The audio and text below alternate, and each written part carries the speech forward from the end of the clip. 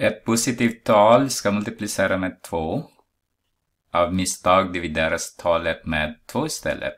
Hur mycket procent mindre är kvoten än produkten? Så jämför. För att jämföra, vi pratar om procent, jämför. Då tar vi skillnaden, dividera med den man jämför med.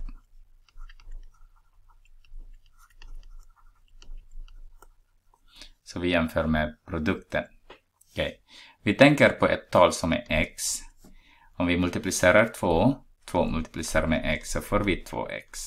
Men istället om vi dividerar det med 2 så får vi 0,5x.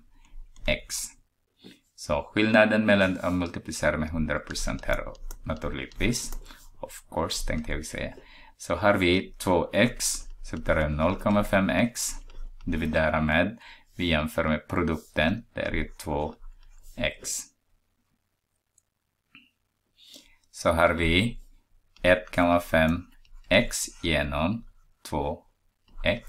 Så är det ingen betydelse med x nu, därför de är samma i nämnaren och täljaren. Så har vi 1,5 dividerat med 2, multiplicerat med 100. Jag ska bara göra så här där, så att ni blir inte förvirrade när plötsligt skriver jag 100% där.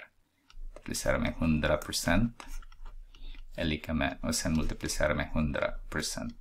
Så ser ni att den här 1,5 dividerat med 2 är ju 0,75 multiplicera med 100%. Då är det 75% mindre är kvoten jämfört med produkten.